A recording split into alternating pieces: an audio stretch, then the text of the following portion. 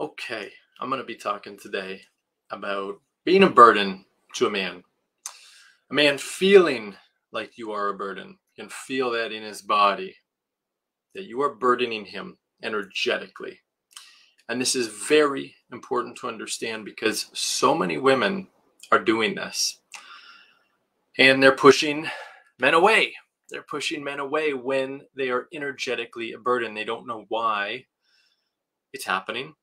Um, and of course, a woman's going to be able to feel that, right? When a woman pushes a man away in any kind of way, when he starts to withdraw his attention, his time, his care, his love, woman's going to feel that. And it doesn't feel good. It feels very unpleasant and can bring up a lot of anxiety, especially if a woman has a lot of attachment to that man. And this can be a relationship, but it can also just be um, at some point during the, the dating phase as well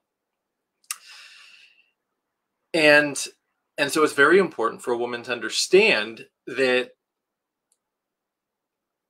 that the reason that a man is withdrawing the reason that he's losing interest in her is because energetically he can feel her as a burden right? He can feel that energetically. And it's not something that's intrinsic right? It's not that you know you were born a burden in some kind of way though of course unfortunately there's a lot of women who have developed that belief uh, from childhood and in adulthood because of their experiences. They believe that um, they're just a burden wherever they go. And of course, that's going to cause a lot of problems with their self worth and being able to communicate their needs and feelings and everything like that. Um, and, and ironically and tragically, it's that belief itself that causes men to feel that a woman is a burden, right? Because understand that for a man, right? Let, us talk about, we're, we're going to talk briefly about what energizes a man. Because we can look at this on a spectrum. On one side of the spectrum, a woman is energetically a burden to a man. On the other side of the spectrum, she's not a burden at all. She's the opposite. She's an inspiration. She actually inspires him to do more, to be more, to become the best that he can possibly be. On the first side of the spectrum, she's weighing him down, like she's actually causing him to operate way below his potential as a man, both inside the relationship and outside. And then on the other side of the spectrum, she's causing him to, to be much more um, like maximizing his potential. And to be clear, this isn't about blaming women, right? It never is about blaming women, but it's important to understand how your energy, how your behavior, how your communication is going to impact a man. And vice versa, right? How a man's behavior is going to impact you as well. So, so, so what is it that causes you to be a burden to a man? What a lot of women believe, right? Their deep belief, typically stemming from childhood, is that it's having needs and you know having feelings. Those two things, needs and feelings, make them a burden to a man. And so when a woman has that belief, what's she going to do? Well, she's, and I'm probably going to do another video on this because it's a really important topic. She's going to minimize her needs. She's going to minimize her feelings. She's going to hide her feelings and needs, downplay everything, make herself smaller in a lot of ways so that she is not a burden anymore or that she's a smaller burden to a man. And this strategy can never work. It can never work because the reason that a woman feels like a burden to a man is because in one way or another she is in her masculine energy okay?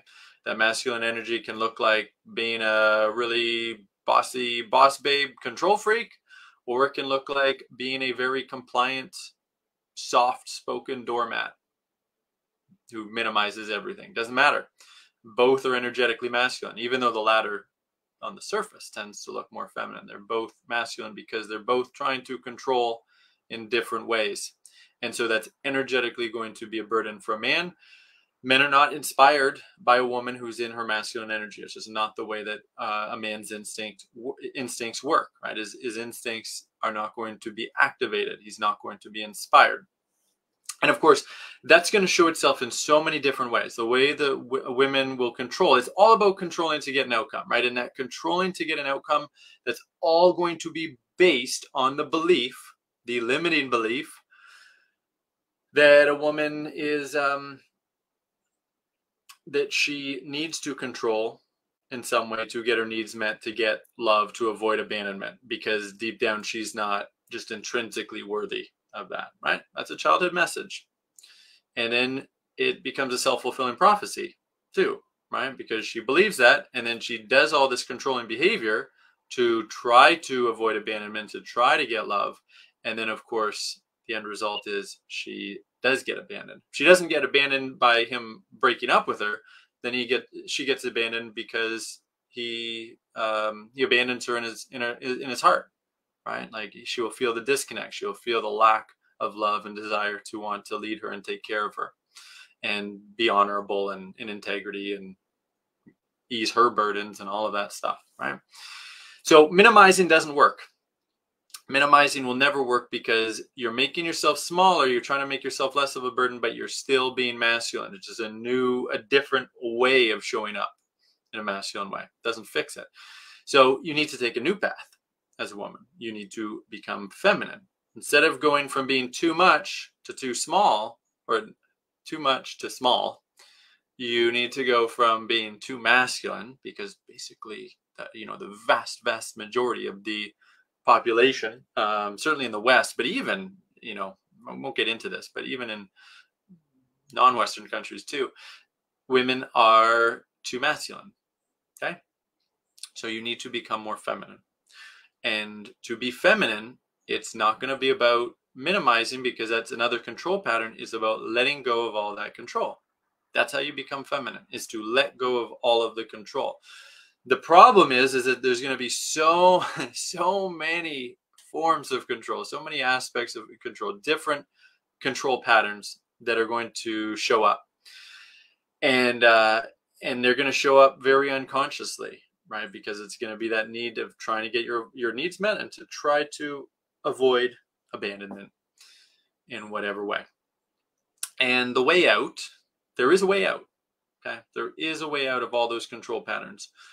You might be able to do some work, you know, doing your some femininity course and doing yoga in the woods and masturbating in the woods and you know whatever whatever women do to try to be more feminine, like dancing. Um, all that stuff is great, right? I'm not I'm not knocking any it. All that stuff is great to learn how to let go of control and, and get into your flow. Um, it's fantastic. But if you don't know how to communicate to a man, it's not going to matter very much. Right? It's easy to be in your flow and have fun and all that stuff when you're single and unattached. But then when you get attached to the man, what happens? The control stuff comes up again because you got that attachment, you don't want to lose it. And so, how are you going to let go in those moments? You're going to try. You're going to try your best to, you know, oh, I'm not going to, I'm not going to text him, blah blah blah. I, I'm not going to initiate. I'm not going to plan anything. I'm I'm not going to say anything when uh, when he hasn't texted me for three days and whatever. But guess what? You're going to go into that minimizing pattern again sooner or later, right? That it's going to be natural because you're controlling yourself by not saying anything, by trying to let it go and not say anything. It's not going to work. Okay. A man's actually going to start to lose respect for you, lose attraction for you when you do that. The only way is to learn how to communicate. And you have to learn how to communicate in a feminine way because your needs do matter, your feelings do matter, your control issues matter, your anxiety matters, all that stuff matters. And it's not about hiding that stuff. And it and and yes, while it's important over time, that stuff will go away over time. And a lot of healing and a lot of love can help those control patterns go away what's much more important is when those control patterns up instead sorry when those control patterns show up instead of minimizing you share right? you share what's going on you use feminine communication to explain what's going on. The communication itself the feminine communication it's going to help you energetically let go of control. Okay? And and when you do it right, you can, uh, want to say recruit. It sounds like the wrong word, but or inspire. We'll say inspire. Inspire your man to help you, your man or your date or whoever it is, help you also let go of control by giving you what you need. What is it you need? Reassurance, clarity, consistency, him being more in integrity, uh, you know, a phone call at certain times, you know, letting you know ahead of time what's going on, um, you know, taking over some kind of burden, whatever it is, there's tons of possibilities, right? There's a lot that you're going to need. It's only going to come from communication. That is how the shifts are going to happen. Communication is the key if you don't get this, you're going to continue to struggle over and over again. And you're going to, you're either going to go into a minimizing pattern or you're going to go into an increasingly like abusive, loudmouth, yelling, uh, control freak, like overtly control freak pattern. And both of those are going to be a burden.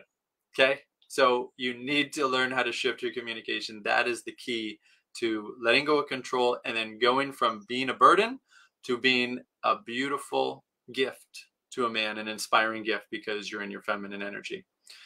How are you going to learn to do that? Well, you start with our masterclass. Okay.